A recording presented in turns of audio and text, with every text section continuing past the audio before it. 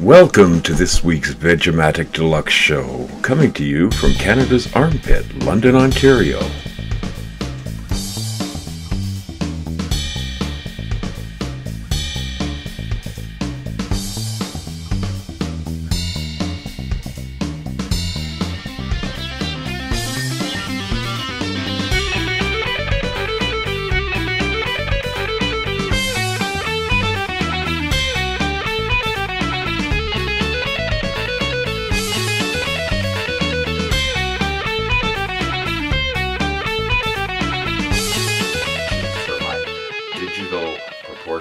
Artsy coaxial helicopter model. Cool. I thank you for purchasing our product in order to use it correctly and make sure safety phase. Please read book carefully. Okay. I wonder if our world leaders use Google Translate to talk to each other because I'm sure that's how they wrote these instructions in China.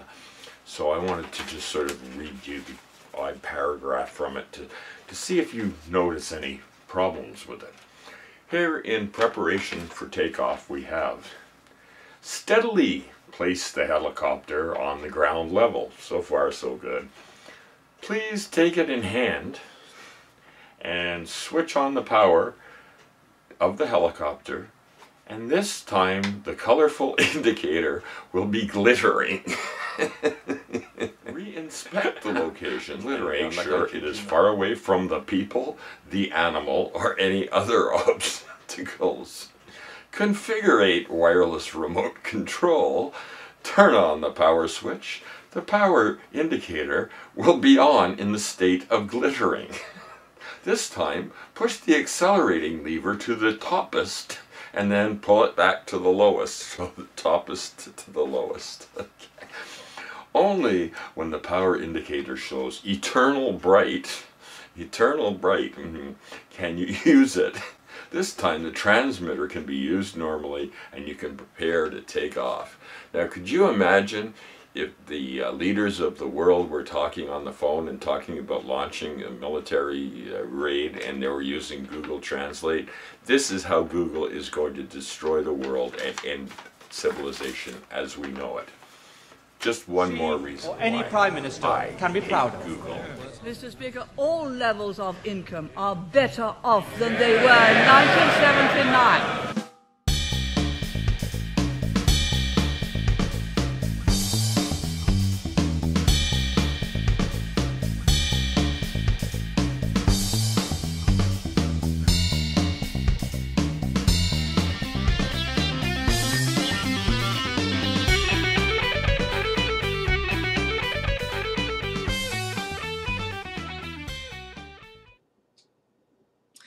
Now, I had to somehow chime in um, on this whole uh, subject of ISIS and uh, this um, Foley beheading video.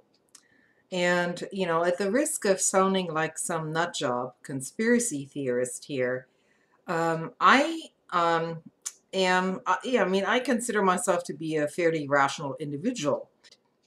After having watched that video, um, which, as I say, the original video has been taken offline mostly. Uh, I I find um, I find I have a very um, there's an ambivalence about that video which makes me um, quite suspicious. After having watched the uh, uh, watched the video without any other input beforehand, um, I have to tell you that I'm not convinced that this video uh, is not some uh, sort of a staged event. Why would it be completely out of the question that MI6 or, you know, some covert uh, CIA operation isn't actually responsible for all this? In order to basically ramp up the war fervor uh, within the Western populace once again so that uh, the uh, planned intervention in Syria in order to oust Assad can now go ahead since it was foiled the last time.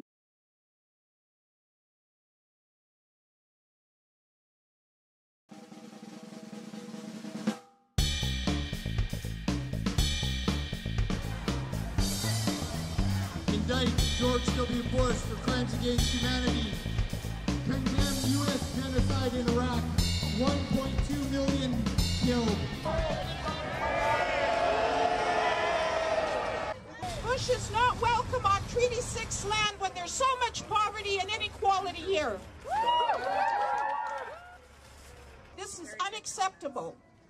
And I'm really concerned that the Chamber of Commerce is sponsoring this. Damn these neo-Republican wannabes. Damn the proponents of war. And damn the protectors of war criminals.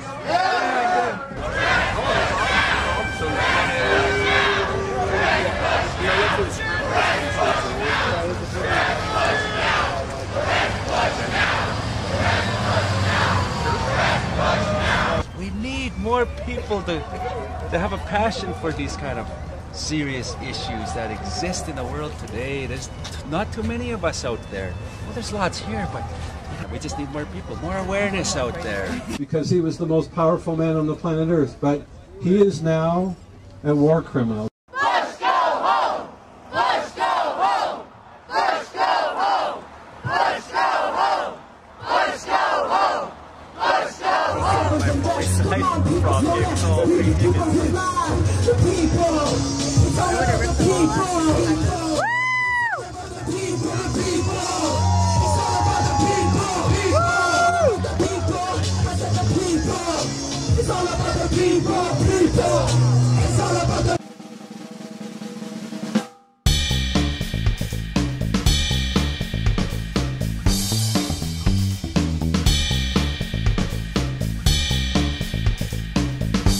Doomsday Trailer West in uh, Colorado. I finally had a enough break in the climate to get my ass down to the library to, to so I could check in with Yahoo News for my weekly climate change meltdown rant to see how the climate on this planet has been sending this planet outside of uh, Paonia, Colorado, anyway, into a burning lake of fire since our old buddies at the UN uh, got together last week.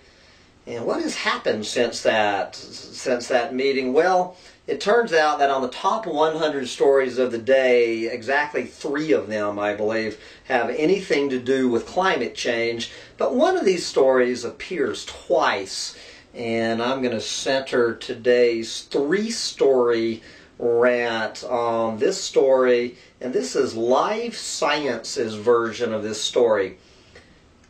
And this what what they're talking about here is the is this unadulterated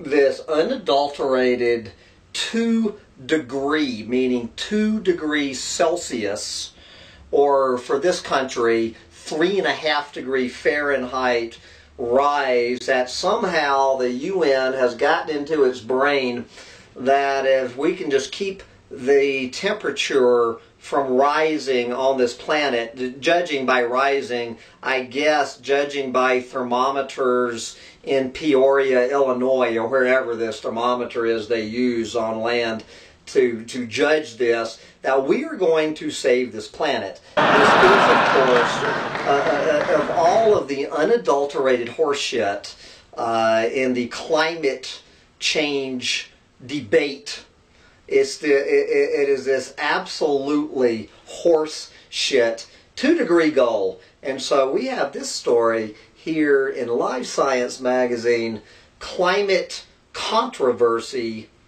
Does the two degree goal need to go? Well, I have been answering that question. Your old your old doomsday climatologist Hambone has been answering this question, this very question has been a recurring theme uh, on Hunt Me Dump Me Tribe in these very rants uh, on Wednesday. The answer to the question is yes, it does need to go. It needs to go because it is it is a goddamn joke on every level, on every single level that you approach this from. It is a joke. the number one reason eh, eh, that it is a joke and the number one reason it needs to go is that we have zero chance. Zero chance of, of, uh, of reaching this horseshit goal.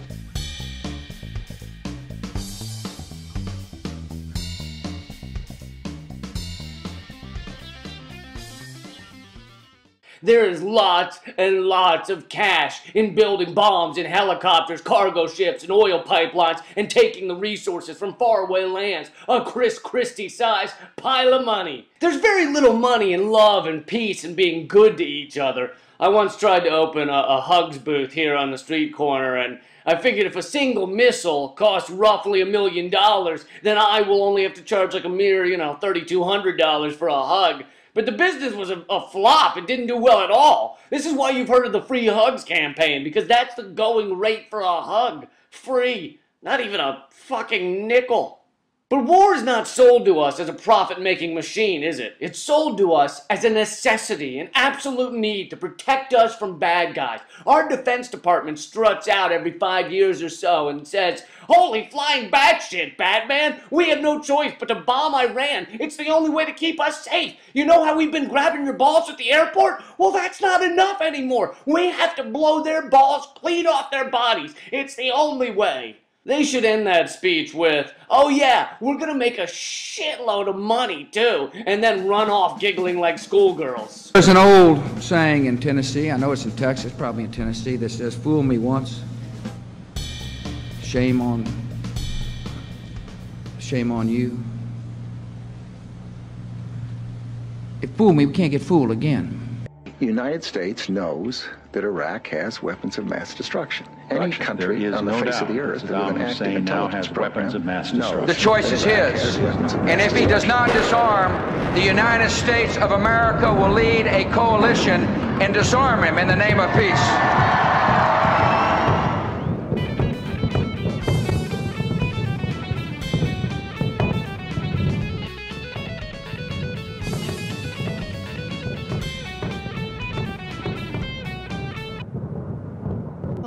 Intervention in Syria in order to oust Assad can now go ahead since it was foiled the last time. Uh, you know, when this whole chemical weapons uh, story, which was portrayed as being, you know, coming from the Assad regime, was essentially already debunked. You know, it kind of makes you wonder who benefits from posting this this kind of stuff and isn't it just another prelude to get the American people and uh, other Western audiences behind more military strikes in the Middle East? I mean, you you you really have to, as a rational person, you have to ask yourself that question. I'm sorry, I don't consider myself a conspiracy theorist of any kind, but yeah, you do have to question things. Now I have some advice for you YouTubers, old and young. Big tubers, to small tubers, it's all the same tuber, man. And, and this is what it's all about if you're going to be on YouTube in any form or fashion. Don't feed the trolls. Don't feed the trolls. After all, it's just rock and roll. You feed a troll, stick to you like one I glue. So don't feed a troll. Don't feed a troll. They live under bridges, they're not like you.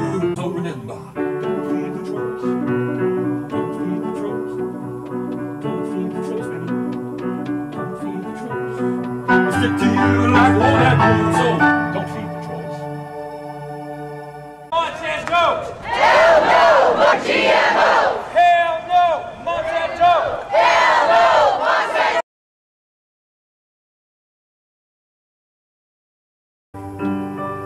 GMOs in the food. GMOs in the food. They selling GMOs in that food. GMOs in the food. I don't know the mood.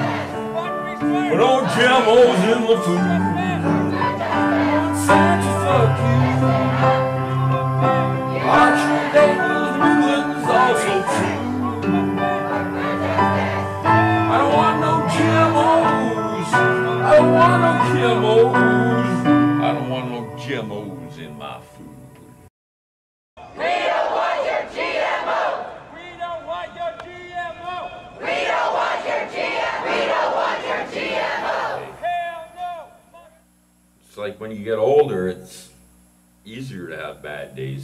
Because your memory goes. It's like if, you know, I mean, well, I'll give you a hypothetical example. Um, if you happen to uh, have forgotten that you're uh, attending your friend's retirement party and you only find out a half an hour before because you forgot about it. And then you show up and everything's fine except that you forgot to do up your fly and the Viagra that you took an hour ago is starting to kick in. Everybody can have a bad day, especially when you get old. Many supporters at the Bush Center. And so Jeb was there. He and I did a conversation. I, of course, uh, was pushing him to run for president. Uh, he, of course, was saying, I haven't made up my mind. Right. And I truly don't think he has. But uh, And plus, I don't think he liked it that his older brother was pushing him. Right. You don't think he liked it, but you still have the same dynamic. You, think, you, you told me a couple years ago, he has a skill set. And being a governor, that's also a great prerequisite. Yeah. But the question is, is the things in his life, personal life, make you ready? Uh, and does he want it? Yeah, I think he wants to be president. I think he'd be a great president. Uh, he understands what it's like to be president for not only the person uh, running or serving, plus family. He's seen his dad, he's seen his brother. And so he's, he's a very thoughtful man, and he's weighing, weighing his options. Shame on you. It fooled me, we can't get fooled again. No energy anymore.